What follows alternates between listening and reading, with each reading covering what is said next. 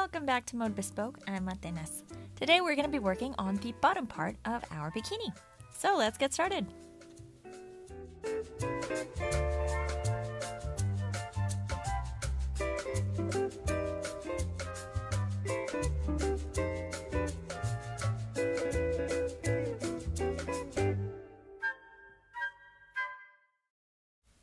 So for our materials, we're going to be using some of this leftover yarn. So if you worked on yesterday's tutorial and you made the top, you might have had some of this yarn left over. So I'll be using that leftover yarn as well as a, a cake of Coboo. This will be more than enough yarn to make the bottom in any size you need. You're going to be using the same hook we used yesterday, and that's a 3.5 millimeter hook, as well as your scissors and your yarn or tapestry needle. You can find the PDF pattern for this project on my website. I'm going to leave a link in the description box below. Now the only measurement we're going to need is a measurement between your hip bones. So just grab a measuring tape and measure from one hip bone to the other one. This is going to be the width for our bathing suit bottom. So get that measurement and then we can get started. So let me grab my yarn here and we're just going to begin with a slip knot. So let me just get a little bit closer here. Alright, it's a quick review. Just wrap the yarn around two fingers and then you're going to insert your hook into that loop you just made. Grab this thread of yarn back here, pull it through that loop, and then just hold it down with your index finger so you can move your other two fingers and tighten up your slip knot. So the first thing you're going to need is a chain of 50 since we are going to need straps for this bottom. So we're going to begin with the straps first. So wrap your yarn around your hook and pull that top loop through the bottom one to create a chain. So there's one, and then you're just going to make a chain of 50 stitches and this is no matter what size bathing suit you are making. So chain 50 and then I'll see you again here in just a moment. So here's my chain of 50 stitches. Now I'm going to grab a stitch marker because we're going to have to know where that chain ends. So grab a stitch marker, a safety pin, a bobby pin, whatever you have. Just place it on that last stitch of the chain. So that's going to be the strap. So we will be making a second one of these on the other side of the chain. But first, let me just get my hook back on here. So you're going to take that measurement you took, so the one between your hip bones, and this is where you're going to use it. You're going to make a chain that measures whatever that measurement was. So for the measurement I'm using as an example, which is also what you will see on the pattern, is 12 inches. So I'm going to make a chain that measures 12 inches before I make my last chain of 50. So just to go over what we've just done. So it's chain 50 and then a chain that measures 12 inches or whatever your measurement was. So make that chain and I will see you again here in just a minute. All right, so I've made a really long chain. I'm just going to grab my measuring tape and I'm going to measure it. So let me line this up and I need this to be 12 inches. So you can see it's a little bit over. So I'm just going to grab a another stitch marker. So, and you can use a stitch marker, a bobby pin, whatever you have handy. Then I'm going to place it on that 12 inch mark. There we go. So that's going to be the front part of my bathing suit bottom. Let me get all this out of the way. Okay, once you've got that, now it's time to work on our second strap. So you're going to need to make another chain of 50. I already have a few stitches here, so I'm just going to count these. It looks like I've got seven. So I'm just going to make another 43 stitches. You need a total of 50. I will see you when we finish this chain. All right, so I finished the chain. So this is what our work looks like so far. So we got 50, our measurement, and then 50. So now we're ready to begin our first row. So we're just going to single crochet. So beginning on that second stitch from your hook. So skip the first chain. Go into the second one. You're going to insert your hook into that stitch. And then we're going to yarn over and pull up a loop. And when you have two loops on your hook, you're going to close your single crochet by making a loop and pulling it through those two loops already on your hook. So you're going to single crochet in every stitch of the chain. So go into the next one, insert your hook into the stitch, yarn over and pull up a loop. And then you're going to yarn over and pull through two. So here's another single crochet.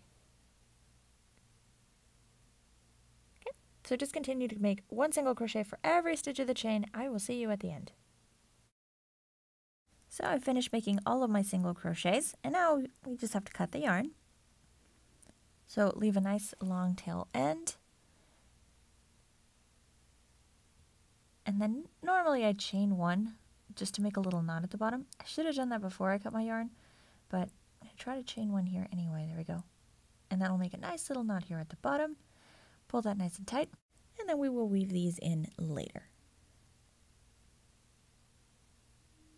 So here's our work so far.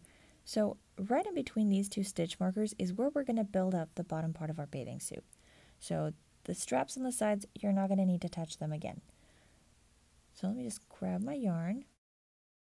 We'll just get to this first stitch marker. So here's the strap. Go to that very first stitch marker, and we're going to start our single crochets. So insert your hook into that same stitch, the one that's got the stitch marker. Let's grab our yarn and you're going to loop that around your hook. And then pull that loop through the stitch. And then if you're a little bit more experienced, you can just drop that tail end and start to crochet your single crochets. If you don't want your work to pull too much, or if you're a little bit newer with crochet, then grab both of those threads of yarn and we're going to chain one. So wrap your yarn around your hook and pull both of those threads through the loop already on your hook. So we've made that chain one and now we're ready to single crochet. So for this next part, we're going to make a single crochet in every stitch of the row until you get to that second stitch marker. Once you get to that second stitch marker, you're going to stop. So working into that stitch right next to our chain one, we're going to work our first single crochet and then one single crochet in every stitch until you reach that stitch marker. Alright, so I've gotten pretty close here to my stitch marker. Here's our work look so far. Now I've got one last stitch to make, so I'm going to make one last single crochet in that same stitch with the stitch marker. And there's my row. So to start our new row, we're going to chain one, and then we're going to turn our work around. And we're going to begin our first single crochet in that very first stitch of the row. So insert your hook in this stitch and then we yarn over and pull up a loop. And now we just single crochet. So you're going to single crochet in every stitch of the row, and then we're going to repeat this for a total of four rows. So right now we are on row two. So you want a total of four rows, so repeat this two more times once you finish this row. And then at the beginning of the row, remember you just chain one, turn your work around, and start on the first stitch of the row. So complete another, what, three rows, because we just began this one. So make a total of four rows. I'll see you again in a minute. Okay, so here we go. I've completed all my rows. So here's four rows. And now we have to make that second strap. So we want it to match the first strap that we did. So in order to do this, we're going to have to chain 50. So let's turn our work. There we go. Grab some more yarn. All right, and you're just going to begin your chain right after you did that last stitch of the other row. And we want it to match. So chain 50, and then you're going to single crochet all the way back. So let me get this done, and I'll see you here in a minute. So once you finish the strap, you would have done your chain and then your row of single crochets. And then when you're coming back here on the last few stitches of that single crochet row, we're going to get to what I'm calling the block. So I'm going to call this the block um, on the pattern. So we're going to have to single crochet across every stitch of the block. So just get to that next stitch, single crochet all the way across. When you get to the other end, you need to make the second strap. So it's going to be just like this one. So you're going to need to make a chain of 50 and then single crochet. So again, let's single crochet all the way across the top of the block you get to this side, you're going to chain 50 and then you're going to single crochet all the way back. Once you finish that second strap, your work is going to look like this. So here we've got two straps on either side of our bottom. And now we're going to start casting on for our Tunisian work. So let's just pull on the yarn here. So beginning on this very first stitch of the block, we're just going to do a regular cast on. So this is the same as what you've seen in my other tutorials for a cast on. You're just going to insert your hook into that first stitch, and then you're going to yarn over, pull up a loop, and you're going to leave that loop on your hook. And then you're just going to repeat in the next stitch. Insert your hook, yarn over, pull up a loop. Go to the next one, insert your hook, yarn over, pull up a loop. So cast on one stitch for every stitch of the block. Once you get to the very end of the block, you'll stop right there. That way you don't have to, um, that way you won't cast on, sorry, all of the stitches on the strap as well. So cast on all the stitches on the block. I'll see you here in a minute. All right, so I'm at the end of the block. I've got just the one stitch left right there.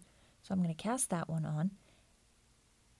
And then you're going to work a return pass. So this is what our work looks like once you've already cast on everything. And for a return pass, it's just a regular return pass. So we're going to yarn over and pull through one. Let me get a little bit closer here. So yarn over, pull through one loop. And then for the rest of the row, you yarn over and pull through two. So there's one, and then two, and then yarn over, pull through two. One, two, and just repeat until you get to the end of the row and you're left with just one loop on your hook. Now for this next part, we're going to have to start working decreases on either side of the bottom. This is going to create the triangle shape that you normally see on a bathing suit bottom.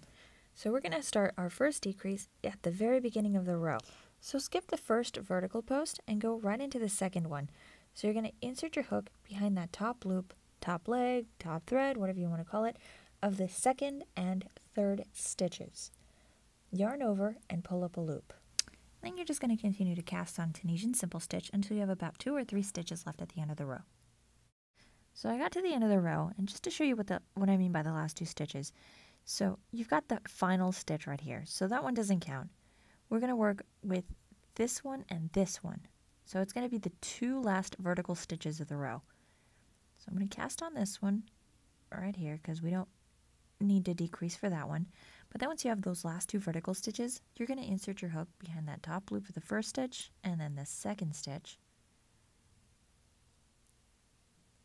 And then we're going to yarn over and pull through both of those loops. So we're going to turn those two stitches into just one stitch. And now at the end of the row, we're going to cast on just a little bit differently than we usually do. So instead of just inserting your hook behind both of the side threads, so the ones at the very end, I'm going to use that thread that's closest to the Tunisian work. So it's this one right there. So I'm just going to insert my hook back here, grab that one part of the stitch. So it's just that one leg or thread or whatever you want to call it. So it's that one thread right there for that last stitch. And then I'm going to yarn over and pull up a loop. So that's going to create a nice even edge on both sides of our work. Once you've done that, you're just going to work a return pass, and I'll see you when we get to the beginning of the row so we can review how to do the decreases just one more time. So to review the decrease at the beginning of the row, you're going to skip that first vertical stitch, and then you're going to work with the two stitches right after that. So just insert your hook through the top loops of both of those stitches, and then you're going to yarn over and pull up a loop. So Tunisian stitch until you get to the end of the row, and once you're at the end of the row, we're going to have our last two vertical stitches. We're going to have to decrease here as well, so just insert your hook behind both of those top loops, and then yarn over and pull up a loop. And then at the very end, I'm going to cast this one on a little bit differently. So I'm going to use that, the loop closest to your Tunisian work. So let me try to show you here. So it's this back loop. You're going to insert your hook into that stitch right there and just grab that one thread and then just yarn over and cast on a loop. So when you're through with this stitch, uh, work your return pass and then you're just going to cast on again, work another return pass, and you're going to repeat this for several rows. So you're going to stop working those decreases once the top of your work measures approximately 3 inches. That's going to be about 7.6 centimeters. So the number of rows you're going to crochet is going to be different for everybody depending on what size you're making this bottom. So you just need to crochet until the top measurement is three inches, and then we're going to work what is called the gusset. So let me get this all out of the way. And for the gusset, we're not going to do any increases or decreases. We're just going to work regular Tunisian simple stitch rows. So let me get a little closer here. So for the next about three inches worth of work, we're just going to skip that first vertical stitch and we're going to Tunisian simple stitch right into that second one. So here's the second vertical stitch. So we're not doing any decreases, so just grab that one stitch. And then you're going to um, cast on a Tunisian simple stitch in every one of the stitches along this row until you get to the very end. And at the end, you're also not going to do any decreases. So you're just going to work one Tunisian simple stitch in each of the stitches. We want this part to be a, a square. So it's going to be a 3 inch by 3 inch square. So 7.6 centimeters by 7.6 centimeters. So see here we're at the end. We're just going to work a Tunisian simple stitch and then one Tunisian simple stitch. And then we're going to work that last stitch of the row. So once you get to this part of the stitching, you can just cast on a row of the stitch like you normally would, and then the edge will look just fine. So once you've got all of your stitches, just work your return pass, and I'll see you again in just a minute. So once you've completed your return pass, you're going to want to add a stitch marker to that last stitch we did. So I'm just going to remove one of the stitch markers from the top of our piece, because we're not going to need those anymore. And I'm going to place it here on this very first stitch of that row we just finished crocheting. Because we're going to need to measure this, and it's going to make it a lot easier to measure if you have a stitch marker instead of trying to look at the stitch. So work another three inches worth of fabric, and I'll see you again in a minute. Once you have finished the gusset, it should measure about three inches. So let me just grab my measuring tape. So I'm going to measure from that stitch marker to the top of our work. And once you've got that measurement, we can start working on the back side of our swimsuit. So I'm also going to place a stitch marker on that stitch, on that very last, or the very first stitch of that last row we just completed. In case we need to pull out any of our stitches or anything, I know when to stop. So that was just kind of a preventive stitch marker. All right, so now we have to work increases at the beginning of every row. So we're going to cast on into that first vertical stitch. So that's going to create that angle that we need for our increase. So just grab your hook, go through that very first stitch, and I'm just going to hold down my thread here. Yarn over and pull up a loop. And then just cast on a stitch for every one of the stitches on the uh, along the rest of the row. So it's just all cast on, cast on, cast on. And then when you get to the end, we're going to work our second increase because we have to make this increase on both ends. So at the end, we're going to do a slightly different increase than what we did at the beginning. We don't want any gaps in our stitching, so that's why the, the one at the end is going to look a little bit differently. So once you get to the end, you're going to notice at the very, very back of your work, you're going to have these two chains. So you have the one on top and then you have the one on the bottom, which is the last stitch of the row. So let me cast on my last vertical stitch and then we're going to work our increase into that top chain. So there's my last vertical stitch. We cast on and then we're going to go into the chain, which is the one right next to that vertical stitch we just crocheted. And we go pull up a loop and now we're going to go into that bottom chain, which is the last stitch of the row. And this one is just a regular cast on, so don't use that little back loop, just do a regular one. So that's going to be your increase. Just work a regular return pass and then I'll show you that increase one more time. So here I'm at the beginning of the row again, and then right in here you're going to see a, a hidden little vertical stitch. That's going to be the second vertical stitch of the row, so don't, don't forget that one. So go into that first vertical stitch, the one we normally skip. You're going to cast on into that one. And you're going to go into that second vertical stitch, which is that tiny one I just showed you. And then you just cast on into the rest of the stitches until you get to the end of the row. So then at the end of the row, we're going to crochet our increases into the chains. So we have the top chain where we're going to need to cast on one, and then the bottom chain which we need to cast on another one into. And those are going to be the increases on either side of our uh, swimsuit. So you're going to keep working this the, the repeat of these rows until the backside of your swimsuit measures twice the length of the front part. So if you need the back part to be a little bit smaller, you're going to measure from this stitch marker, so this one right up at the front side, up until the beginning part of our straps, so right where those single crochets begin. So for me, I've got about four inches. Now, if you need the back end to be a little bit bigger, so the back side of your swimsuit, measure all the way to the edge of the front part. So that would add another inch. So here I'm going to measure from my stitch marker and then to the very top of the back side. So I doubled up the four inches from the front and got a measurement of eight inches. So once my fabric measures twice the measurement from the front side, I can stop and add the straps. So for the straps, we're basically doing a repeat of what we did at the very beginning of our pattern. So we're going to add the two straps and then we have to do those four rows of single crochets. So it's going to look just like this front part. So you're going to begin with a chain of 50 stitches. So I'm just going to start stitching right here. So chain 50 and then you're going to work your row of single crochets so that your strap looks just the same as the ones in the front. So work on that part, and then I'm going to show you how to do the bind off at the top of our Tunisian work. Once you finish the strap and you've already done your single crochet, so you're back to our Tunisian work, we're going to have to work a row of bind off stitches, and this is so that we can close off the spacing in between the stitches. So for this piece, we're going to work a single crochet bind off. So we're going to begin in the very first vertical stitch of the row. We're just going to insert our hook and pull up a loop just like you would if you were working a Tunisian simple stitch. So using that top loop, yarn over and pull up a loop. You're going to have two loops on your hook. And now we're just going to single crochet. So yarn over and pull through both of those loops. And then repeat that in the second vertical stitch. So insert your hook into the stitch, yarn over and pull up a loop, and then yarn over and single crochet. So yarn over and pull through both loops.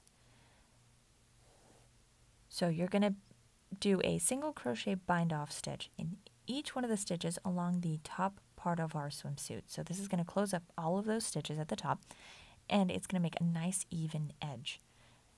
So I'm just going to crochet a few more of these, but I'm going to speed it up just so that I can show you what that bind off looks like once you've finished it. So see it closes up all of the stitches nice and neatly and you won't have these big open spaces between the stitching. So just repeat this stitch until you get to the very end of the row. Once you reach the end of the row, we're going to have to make another strap. So for that strap, we're just going to chain 50, and then you're going to single crochet in all the stitches along this strap until you get right back to the Tunisian work. So once you've finished with that strap, and you're right back here with all of the Tunisian work we had just done, we're going to have to begin our rows of single crochets. So beginning on that very first stitch, you're going to single crochet all the way across till you get to this other end. Remember to stop before you get to the strap because you don't want to work your rows of single crochet onto the strap or you'll have a really thick strap. So working into that very first stitch of the row, we're just going to start with a single crochet and then we're going to repeat this in the next stitch and in the next stitch and so forth until you get to the end of this back part. This is what's going to create that block. And that block is those four rows of single crochets we made in between the straps, so between the top straps and the bottom straps. So repeat this for four rows so that the front matches, I'm sorry, so that that back part matches this front part. And then we will work these last set of straps. So once you've completed your four rows, we're ready to work the last pair of straps. So we have this one on the side. So you're just going to chain 50 and then work a row of single crochets. And this time when you work your single crochets, you're going to work them all across the top of the suit. So single crochet all along the top until you get to this other side and then you just chain 50 and then single crochet back. So let's repeat, you're going to chain 50, work single crochets all the way across, and then you're going to chain 50 and single crochet right back to this corner, and I will see you again right here. So here we go, I've worked that second strap, so I did the chain 50, the single crochets, and the second set of chain 50. So see we've got my strap on this side already. And then here's that row of single crochets.